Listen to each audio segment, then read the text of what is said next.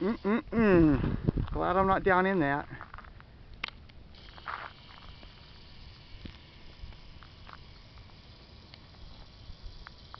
The smog, not that lake. I'd like to be rolling around on that thing.